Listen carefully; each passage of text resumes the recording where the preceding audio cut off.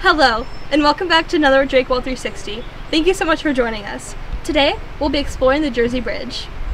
The Jersey Bridge is located on Drakewell Road in Cherrytree Township, PA, where it crosses Oil Creek and leads to Museum Lane in our park.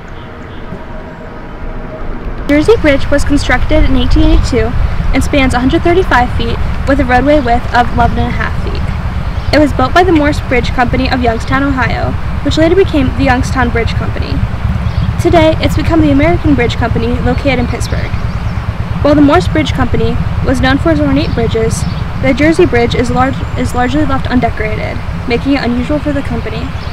According to the website historicbridges.org, however, the bridge still has a bit of ornamentation, featuring traditionally composed trusses with built-up beams containing V-lacing and lattice portal bracing.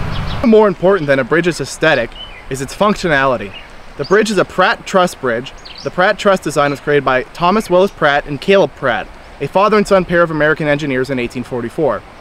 The basic principle of the Pratt truss involves triangular truss designs with diagonals that slope towards the center of the bridge.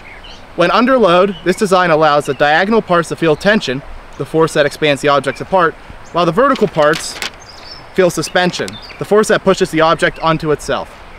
While bridges are built to hopefully last as long as they can, the Jersey Bridge has undergone some hardships over the years. In 1979, the Pennsylvania Department of Transportation, or PennDOT, did a structural survey on the bridge and found it to be deteriorating. A 10 short ton weight limit was placed on the bridge. Even though the bridge was placed on the National Register of Historic Places in 1988, the situation got worse, with the bridge being deemed completely unsafe for travel in 1997. Traffic was brought into the site by way of Drakewell Road, as that was the only alternative route. The bridge was refurbished and opened to traffic once more in May of 1998. The museum has often been asked if the bridge can accommodate large vehicles, from RVs to tour buses. Due to the bridge's, bridge's historic status, it is not required to have clearance or weight signs on it. In 2016, the museum and PennDOT worked together to place a clearance and weight sign for the drivers. Thank you for joining us for another Drakewell 360.